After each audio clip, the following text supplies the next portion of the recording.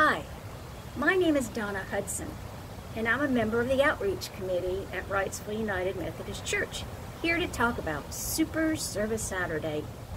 We started this event last year as a way to provide service opportunities to all members of our congregation for a few hours on a Saturday in April, hoping it would become a tradition. Well, since this April is anything but traditional, we've planned some outreach activities that can be done at home a stay at home Super Service Saturday. You'll find our list of suggested outreach activities on the Wrightsville Beach website, or feel free to use your amazing Wrightsville creativity to spread your joy to the community in your own special way. As you may remember, outreach is the spiritual discipline for April in our Vision 2020. So we hope that you can spend a few hours this month in outreach from home. And we especially would love for you to take photographs of your activities so that we can share them with our congregation. Those pictures can be sent to Pastor Christina at christinat at wrightsvilleumc.org. Last Thursday, Maundy Thursday, I learned from Pastor Christina in her morning prayer that the word Maundy is translated from the Latin word for commandment or mandate. As it is written in John 15:12, at the Passover meal on Thursday night before Easter morning, Jesus gave his disciples a commandment to love each other as I have loved you.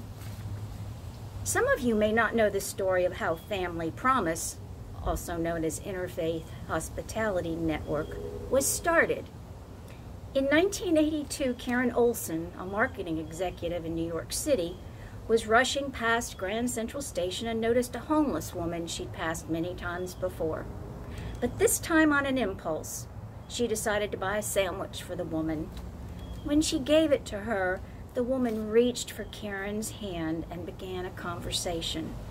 For Karen, the conversation broke through her conception of the homeless to the realization that homeless people are people with hopes and dreams like you and me.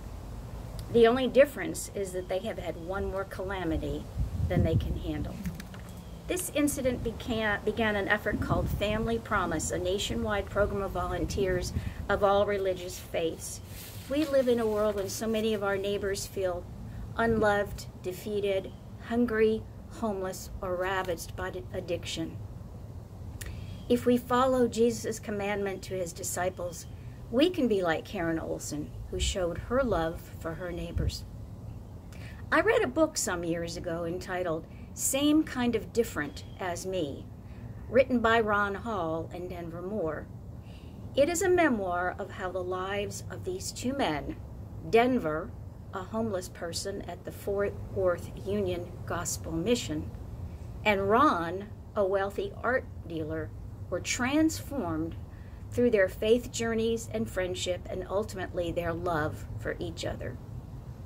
Near the end of the book, Denver makes a profound statement that's used in the book title. Denver says that after he met Ron, he worried that he was so different from him. But instead, Denver found out everybody's different, the same kind of different as me. We're all just regular folks walking down the road God has sent in front of us. So this month, let's take a look at the list of ways we can love our neighbors at the Wrightsville UMC website, especially during this time when our works may be limited by the pandemic. Write a note or draw a picture or send a card of encouragement to a church member or a stranger. There's a restaurant gift card for a medical professional or first responder or grocery store clerk. Fill a blessing bag for a walking tall neighbor. Raid your fabric shelf and make some cloth face covers. Post a thank you note on your mailbox for your postal carrier. Or use your imagination in many other ways. But don't forget to let us know what your projects look like by sending us your photos. And finally, take a close look at the Wrightsville UMC logo. For the Lord is the gardener, Jesus is the vine, and we are called the branches, so that we may bear much fruit. Let's bear some fruit this month and always.